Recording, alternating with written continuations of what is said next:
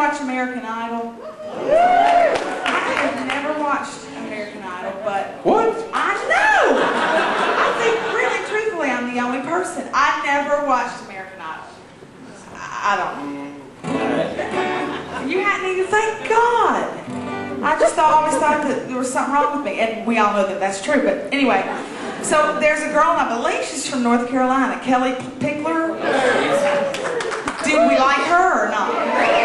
I don't know. Again, I haven't watched. Now I expect y'all to be honest because I haven't watched her, so hopefully she's good. Uh, but apparently, uh, I've written this song, and it's been sort of my theme song forever and a day. But and it's because I don't like beauty pageants is why I wrote this song.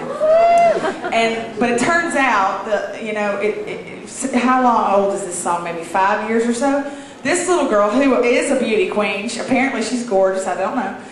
Would enter beauty contests, and so they asked us to rewrite the song for her. So hopefully she'll be cutting this song soon. But this is my theme song, and if she's some little bitty skinny little twit, I'm gonna hate her. But, but that's only for y'all to know,